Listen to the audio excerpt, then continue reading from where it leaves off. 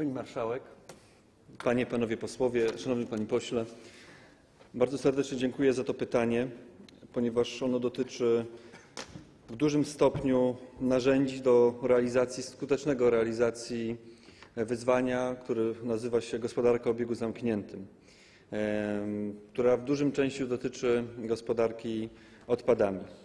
E, W zakresie realizacji kluczowych warunków ex ante należy podkreślić wagę e, na obecnym etapie wojewódzkich planów gospodarki odpadami i planów inwestycyjnych. Jest to najważniejszy obecnie obowiązek, e, który musi zostać zrealizowany. E, Za realizację tego, za realizację tego warunku odpowiadają marszałkowie województw. Szanowni Państwo, dotychczas do Ministerstwa Środowiska wpłynęło kilka planów.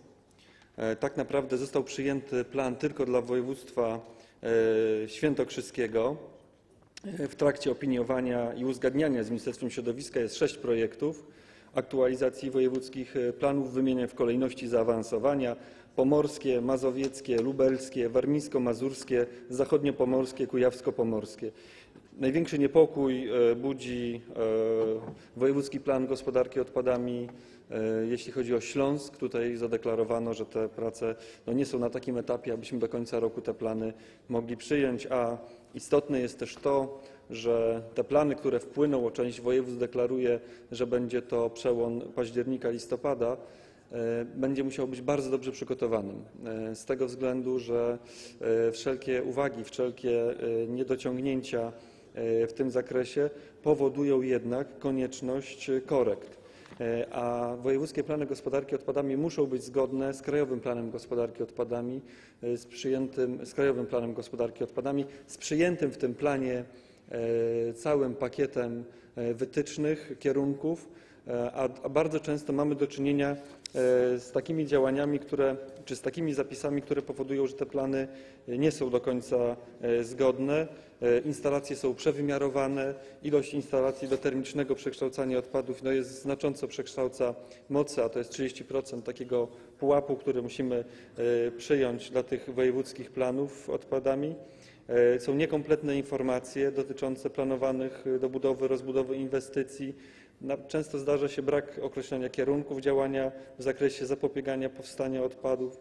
Szereg, szereg działań jest tutaj wymienionych. Oczywiście nie tylko wojewódzkie plany gospodarki odpadami y, i Krajowy Plan Gospodarki Odpadami, to najczęściej o tym słyszeliśmy, kiedy myśleliśmy o, o sprawach, czy mówiliśmy o sprawach y, związanych z wypełnieniem warunków ex ante. Jest szereg tych działań, które też pan poseł wymienił w swoim wystąpieniu.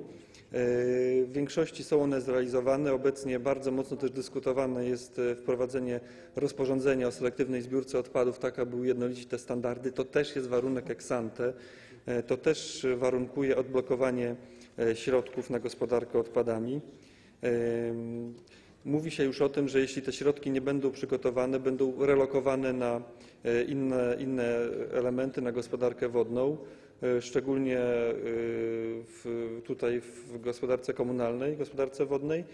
No ale te wyzwania, te, które stoją przed, przed nami, związane z dostosowaniem standardów, z przygotowaniem bardzo dobrych instalacji, które będą spełniać też wyzwania, a taki był cel aktualizacji Krajowego Planu Gospodarki Odpadami, żeby on też był spójny z tym, co obecnie na etapie dyskusji w ramach komisji w zakresie gospodarki o obiegu zamkniętym, tak żebyśmy byli w stanie przez kolejne lata spełniać te coraz bardziej ambitne pułapy yy, niewytwarzania odpadów, recyklingu, odzysku, yy, przygotowania do ponownego użycia. No niestety jest to duże wyzwanie i z tego miejsca też chciałbym zaapelować do, do wszystkich urzędów marszałkowskich, które jeszcze, e, jeszcze tych planów nam nie przesłały. Cały czas odbywały się spotkania e, w ministerstwie, jest specjalny zespół, grupa robocza. E, Pomaga nie tylko Ministerstwo Środowiska, ale też tutaj zaangażowany jest Główny Inspektorat Ochrony Środowiska, Narodowy Fundusz Ochrony Środowiska, więc no, tu jest cały pakiet ekspertów, którzy służą pomocą i wiedzą. Tylko nie może być też tak, jak e, zdarzyło nam się, to wczoraj do nas wpłynęło pismo z jednego urzędu, w którym za- marszałek apeluje o pilne, pilne, pilną, e, pilny pewny powrót tego wojewódzkiego planu ponieważ on już uwzględnia uwagi. No nie uwzględnia uwag, tak? No i to jest ten problem, że oczywiście możemy przerzucać się pismami, ale nam zależy na dialogu, otwartości, bo odpady nie mają barw politycznych. Odpady są e, wyzwaniem, które musimy zrealizować.